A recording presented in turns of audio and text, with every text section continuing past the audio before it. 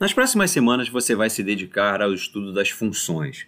Por isso nós escolhemos essa semana para começar a te ensinar conceitos básicos, porém importantes, para que você possa sair bem na continuidade do seu estudo.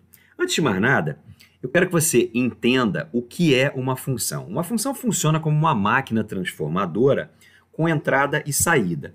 Você vai colocar alguma coisa dentro dessa máquina transformadora, como o nome já diz, isso que você botou dentro da máquina vai ser transformado e a máquina joga para fora, devolve uma outra coisa.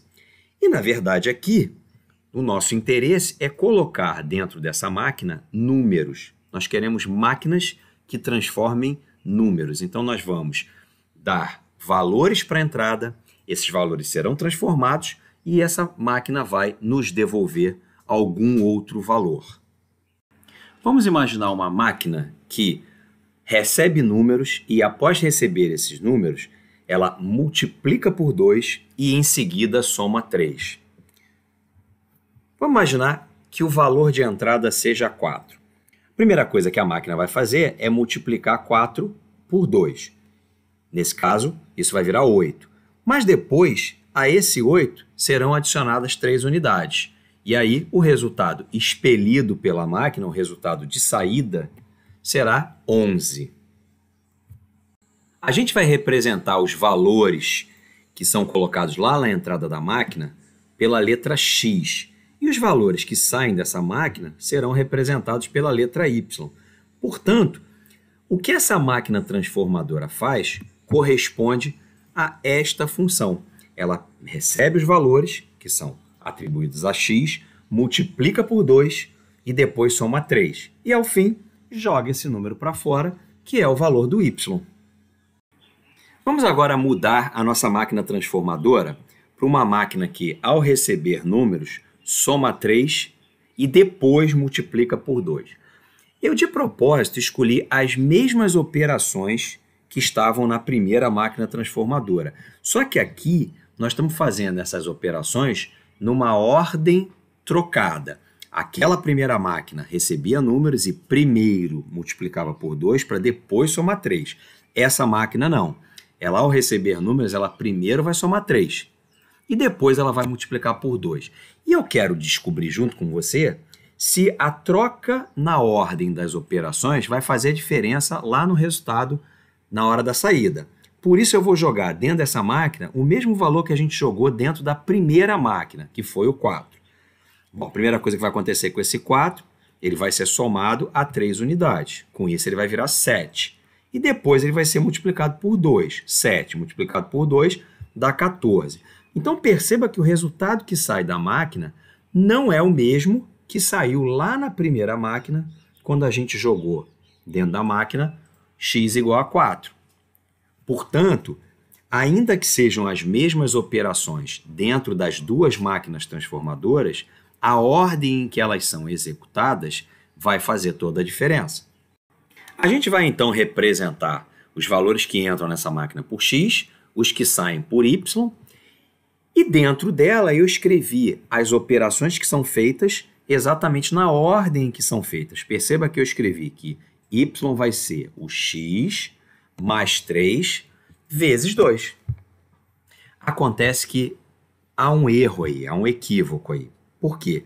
Quando eu escrevo uma expressão desta forma, x mais 3 vezes 2, eu e você já sabemos que primeiro deve ser feita a multiplicação, para só então ser executada a soma, a adição.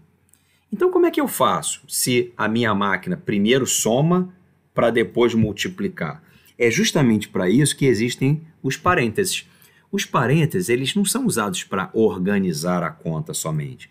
Eles são utilizados para te dizer que em determinados momentos aquela ordem natural que você aprendeu, que primeiro multiplica e divide, depois soma e subtrai, aquela ordem natural ela vai ser trocada. Então, toda vez que você quiser trocar a ordem preferencial das operações, você deverá utilizar parênteses para indicar isso.